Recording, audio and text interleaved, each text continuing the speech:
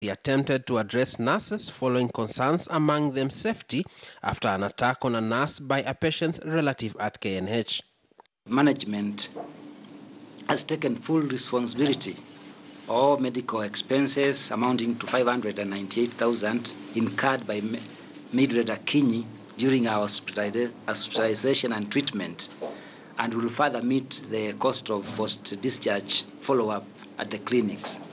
From the eight nurses arrested, five have been set free on a cash bail of 10,000 shillings each, while three who are facing charges of causing disturbance and resisting arrest were released on a 20,000 shillings cash bail.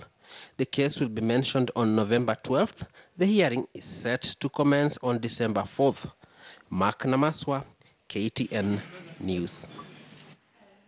For the most noble and the pain of the body, the grief of the mind is a familiar thrill in this cruel world. For Maureen Chepkoech, a middle-aged woman, the challenge of raising her now six-month-old daughter, Dalphine, has turned out to be a futile for the faint-hearted. She has a tongue condition that limits the most vital activity for a child's breastfeeding.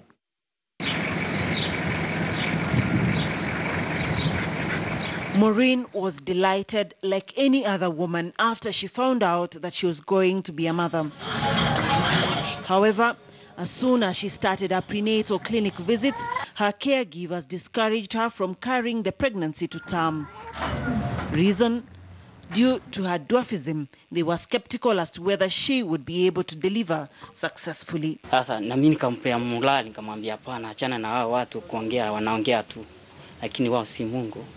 Achana nao, mtoto utafungua poa na atakuwa mzima. Maureen turned a deaf ear and with the support of her husband Richard, she persevered through the negativity.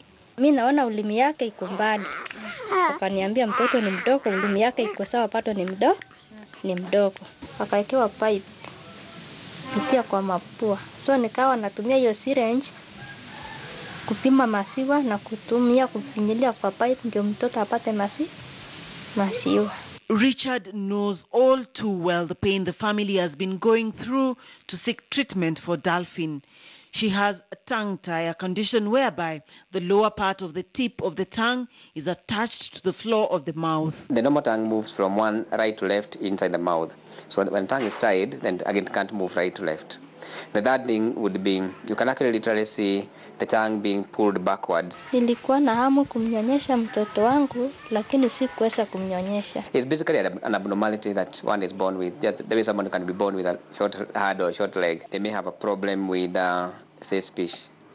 The many sounds that you make, the N, the R, the L, the T, the S, the TH, all those you use the, the tongue. And the tongue must go all the way to pass the lower lip, the lower teeth.